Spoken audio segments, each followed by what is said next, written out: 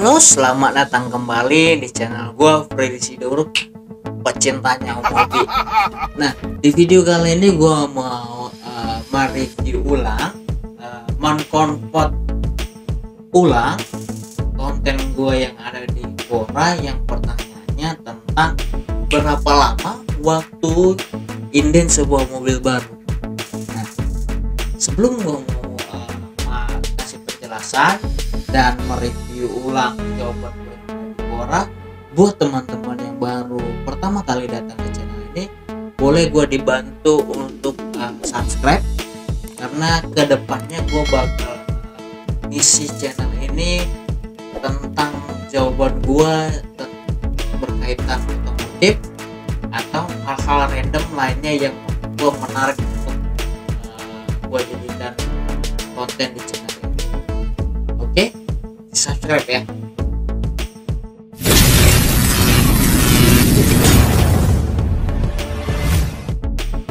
E, sebenarnya ada beberapa poin nih untuk menjawab pertanyaan yang dikurangi. Gue ulang lagi ya. E, berapa lama biasanya waktu inden sebuah mobil baru? Tapi di sini gue menjadikan empat poin yang perlu dibahas. Yang pertama adalah uh, mobil yang sedang ditunggu ini merupakan build up dari luar atau rakitan dari dalam Indonesia. Karena ini juga yang menyebabkan waktunya semakin lama atau waktunya semakin dekat makin cepat. Kalaupun dia di build up dari luar yang artinya bakal takes time kan? Tapi kalau untuk yang di dalam Indonesia ya bakal lebih cepat itu poin yang pertama. Nah poin yang kedua adalah berkaitan tentang uh, lokasi customer nih. Lokasi orang yang memang mau proses mobil tersebut. Let's say uh, orang yang proses mobil diesel itu adalah di area Jakarta. Nah jadi uh, prosesnya bakal lebih cepat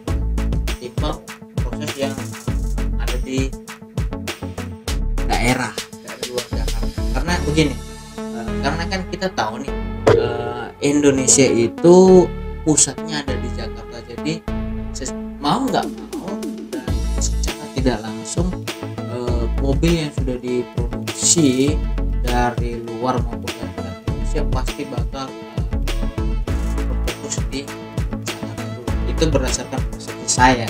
Nggak tahu pada real dan kenyataannya. Tapi gue bisa kasih uh, real contohnya real case nya nih. Nanti di akhir video ya berkaitan tentang hal ini tentang customer di luar daerah. Next uh, ke poin yang ketiga adalah tentang fitur.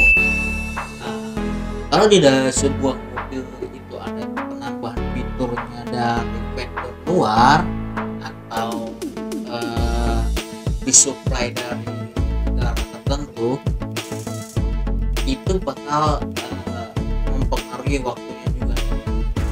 Karena pengetahuan gua tentang otomotif only in Suzuki jadi gua mau share sedikit nih pengetahuan yang gua tahu fitur e-mirror itu disuplai dari Cina.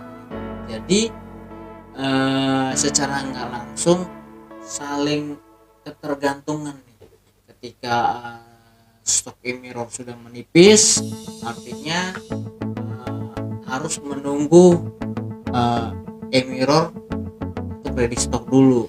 Yang artinya harus di request dari China. Terus untuk poin yang keempat ini sih berdasarkan asumsi saya adalah uh, power dari main dealer masing-masing. Karena kan kita tahu dealer mobil Suzuki itu nggak cuma satu ada banyak. Jadi seberapa kuat seberapa uh, power uh, dealer masing-masing untuk bisa request uh, stok yang diinginkan. Begitu sih. Nah, ini ber, uh, ada contoh nih uh, di grup Suzuki XL7 itu dia sudah request mobil dari beberapa bulan yang lalu sampai sekarang itu masih uh, belum datang-datang nih. Sudah nyampe tiga bulan katanya. Belum datang-datang. Setelah saya usut punya usut dan baca uh, profilnya ternyata si abang ini memang asalnya dari luar daerah dari Denpasar sepertinya nah itu yang menyebabkan uh, lama juga prosesnya. Tapi uh, setelah dilihat si abang ini proses ketika sebelum pandemi mewabah.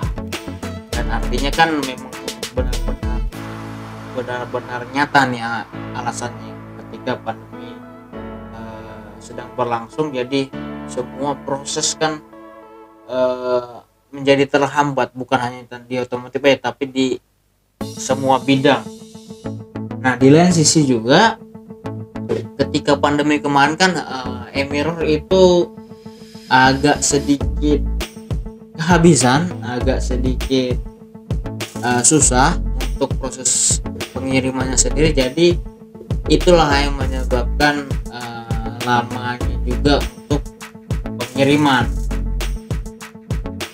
Oke, uh, saya rasa cukup untuk uh, ngobrol santai ini tentang pertanyaan dari Dora.